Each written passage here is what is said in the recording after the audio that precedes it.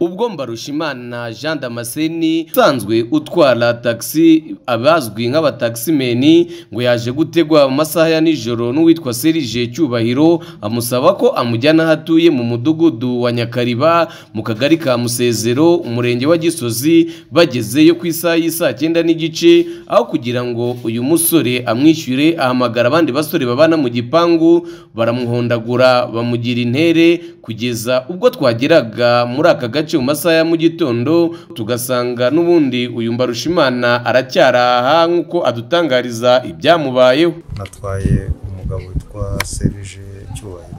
Noneho tugeze aho mugeza yanga kunyishyura. Noneho atelefona n'abari n'abasore babana uwo numvaga ahamagara n'uwitwa jacques. Noneho baraza bagera ku modokari kubera ko twari twabanje guhomba iyo umuntu atari bukwishyura amubaza uburyo ari bukwishyure. Ubwo noneho atangira guhakana atangira no kumfata.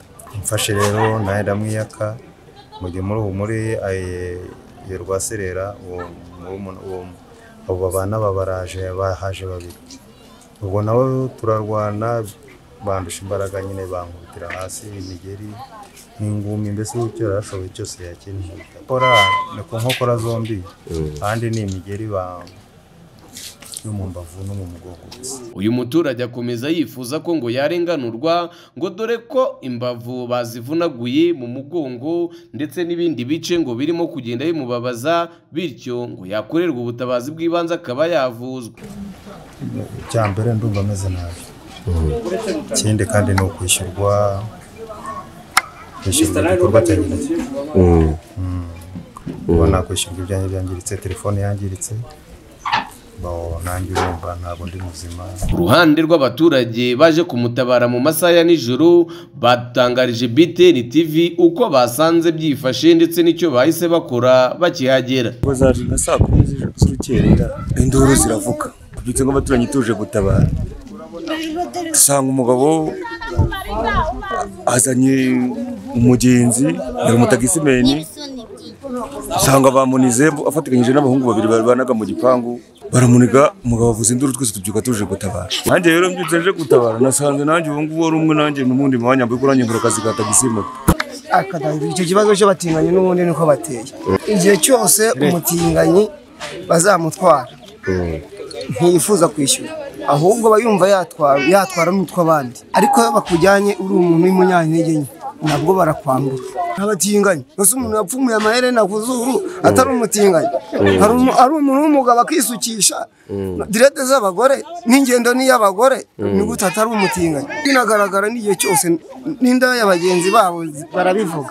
Nuko nta ndaya iri hano imuzi ngo bayibaze wumve ko itavuga ati turamuzi. Uyu musore witwa serije cyubahiro yahise yirukira mu gipangu ndetse yanga no kuvamo kugeza ubwo inzego z'umutekano zahageraga zikamusaba kuba yafungura nabwo akabibamba bakifashisha imbaraga niko guhita bamusohoramo bamupakira imodoka y'ubugenzacyaha ribu bahita bamujyana ahabugenewe. Aba baturage bavuga ko ibingibi byakoreye uyu mutagisimeni ngo ari agahomamunwa bityo ngo yagakwiye kurenganurwa ngo dore ko nubwo abamukubise ari batatu ariko ngo byarangiye bajyanyemo umwe bagasaba ko ngo n'abandi bafatanyije n'uyu serije cyubahiro guhohotera uyu mutagisimeni nabo ngo batabwa muri yo. Bagerageje kuvugisha ubuyobozi bw'ibanze bo mu murenge wa gisozi gusa ntibyadukundira.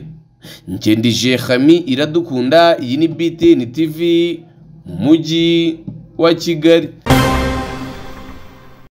Aba baturage bavuga ko bava mu kagari ka ryamuhirwa bakajya kwivuriza mu kagari ka mataba ariho ikigo cya nkungu giherereye ni urugendo rurerure rurenga ibirometero makumyabiri bagenda amasaha arenga ni n'amaguru. Aba baturage bavuga ko hafi bajya kwivuriza ari mu murenge wa giheke nyamara ngo bari begerejwe ivuriro rizwi nka poste de sante ubu ngo rirafunze umurwayi arembera mu rugo cyangwa babura ayo bacira n'ayo bamira bagakoresha imiti gakondo.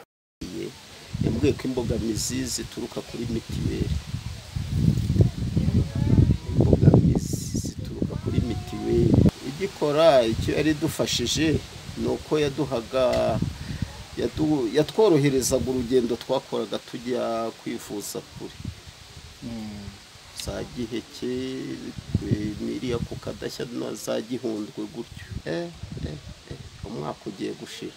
Ni ukujya igiheke hari isaha.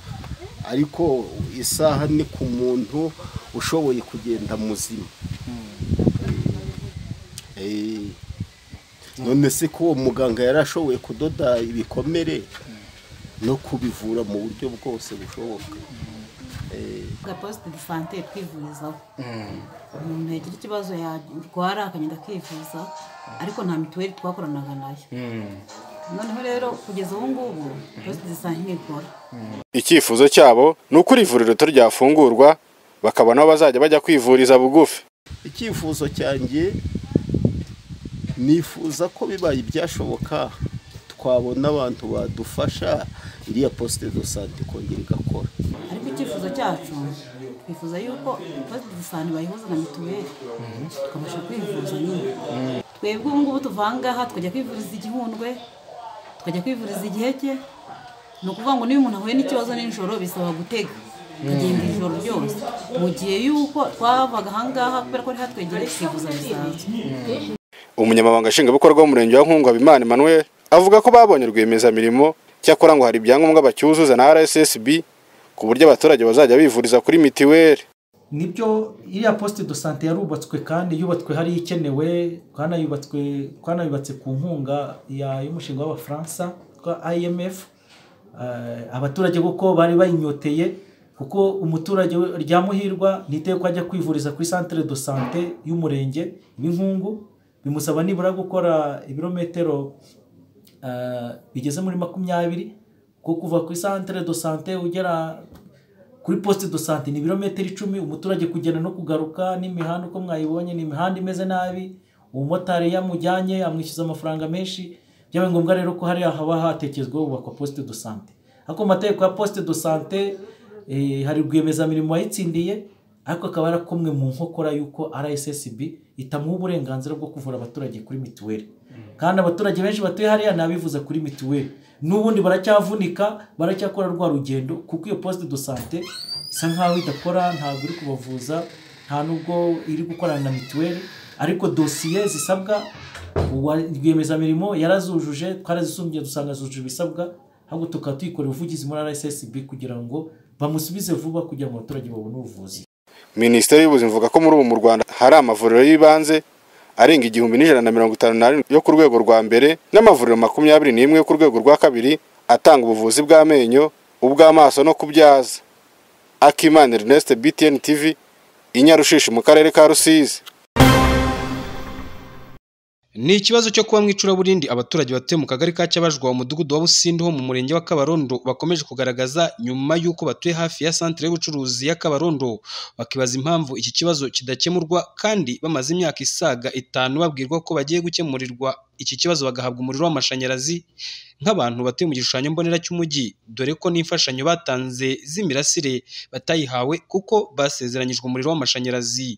Afatiye ku muyoboro rusange bakaba barategereje bagaheba aho bamaze imyaka isaga itanu basezeranyijwe guhabwa umuriro ariko ntibakorerwe aho bahera basaba ubuvugizi. Twageze rero ku muriro twiteranyije amafaranga buri muntu cumi na bitanu hano mu mudugudu kugira ngo dukunde tubone n'umuriro. Amafaranga abikwa na mudugudu n'abaturage twari twashyizeho. Bayandika muri rojisitiri amafaranga amara imyaka ibiri nta kintu akora abitse. Tujya no kubisaba ku karere. Ku karere barangije batubwiye yuko amafaranga bagomba kuyadusubiza ngo bakiri mu ngengo y'imari. Ngo umuriro ugiye kuza amapoto baraza bayatura hano haruguru kabarondo ngo nayazaze nta ku bwa nzaba ayo mapoto ntituzi ahantu yarengeye. Barangije bazana imyirasire bayitangira urwagwa.